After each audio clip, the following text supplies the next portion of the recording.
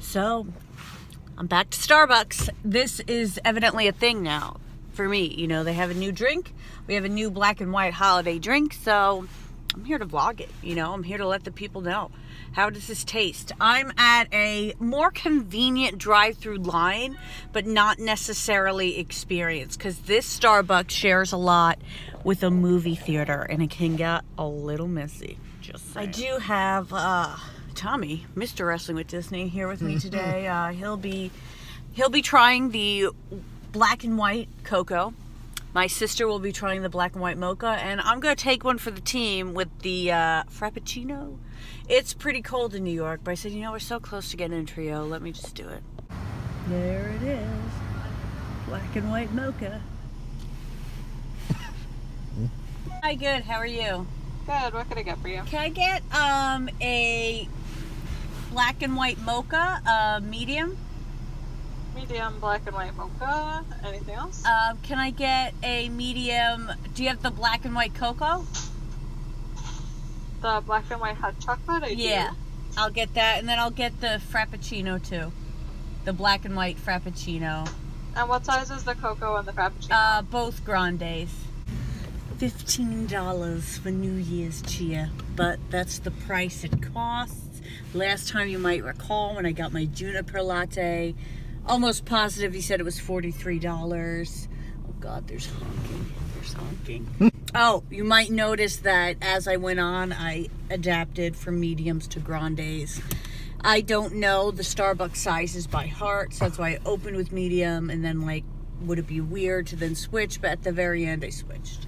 This Starbucks doubles as a Pokestop, which uh, challenging for me. You know, am I am I going to use my phone to film or am I going to use it to catch Pokemon? It's like really two uh, strong loves competing for one another. But uh, seems like you won. But I'll be honest, every time I hit stop, I go catch those Pokemon. The babies are here. They're being safely transported. They're in their little car seats. Look, they've muzzled him. The babies are home. It's a frappuccino, mm. it's a mocha, and it's a cocoa. All right, I've made it to my mom's house. I planned this kind of poorly. Tommy and I just had the two for 25 at Chili's. Comes with dessert. Not really ready for a frappuccino, but you know, for science.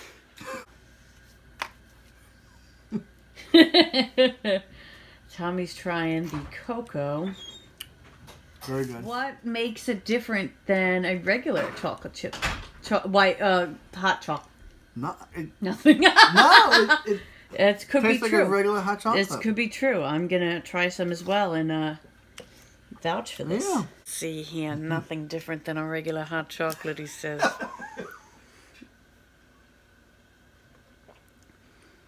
it's a regular hot chocolate. Which you know, if it's not broken, don't fix it, right?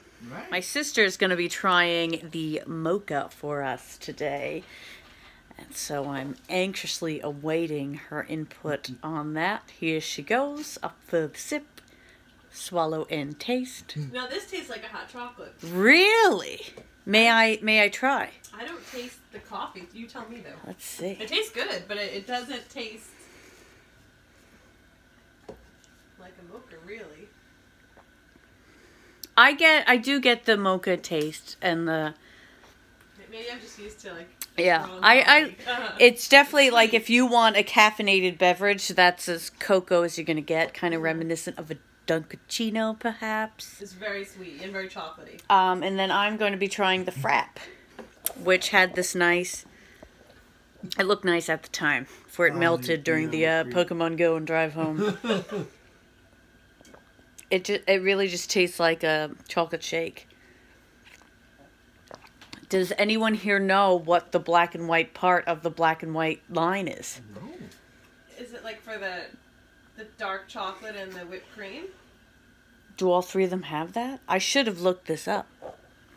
So I can tell the recipient of the mocha seems disappointed with theirs. The recipient of the hot chocolate is very consumed and delighted. And I'm pretty pleased too. If it were cooler out and I didn't just have a cookie skillet, I would probably like it a bit more. to clarify, what my sister says about the black and white mocha is it feels more like a treat than a coffee, but maybe people want a treat, and that's why they're going to Starbucks. This was $15 for the lot. She almost spit out her white mocha. All right, this was $15. Tommy and I like to say, we'll take the lot, which is from Harry Potter. When he meets Ron in the train, Ron can't afford the candy cart. So Harry has all this newfound wizard money and he goes, We'll take the lot. So, like, whenever I want anything in excess, we go, We'll take the lot. So, the lot, the line, the line drive of the Starbucks beverages, if you were to get grandes, uh, is fifteen dollars, which is less than the grande juniper latte that allegedly cost me forty three from last video, if you recall. My sister Michelle would like for me to do my Snape impression, specifically when he tells Tommy to make the bed. uh, Tommy likes to refer to himself as Dobby. Dobby. He says I treat him like a house, like a house elf, and that uh, I need to free Dobby. Tommy is Tommy is Dobby. I just got scolded by my sister for having a husband who resonates with the slave in the movies. Look, better Dobby than a Weasley, and that's all I'm gonna say about it. Pretty boy. All right, guys. Final takeaway. I'm with all my babies home from the hospital, and the the chocolate, the hot chocolate's almost totally gone. The white mocha has got three quarters in it. This does too, only because it's such a decadent dessert. You really got to give it some time. So, judging by that, I would rate the black and white mocha cocoa number one. I would rate the mocha latte. Am I combining Black two things? black and white mocha number two. That's more so because I'm in New York and it is cold, making the frappuccino essentially useless and a frivolous purchase. So that's where I'm leaving off. Any other notes? If you like chocolate, you'll like it. If you like Um, chocolate, you'll like it. The hot chocolate is good. The hot chocolate is good. All right, thanks for tuning in. Uh, I hope you liked this out of the ordinary video. Uh, warning, no tripod, right? There is clearly no tripod in this one, but uh, we're going to press on. And if you think we should free Dobby, please leave the hashtag below free Dobby, and maybe I'll consider it.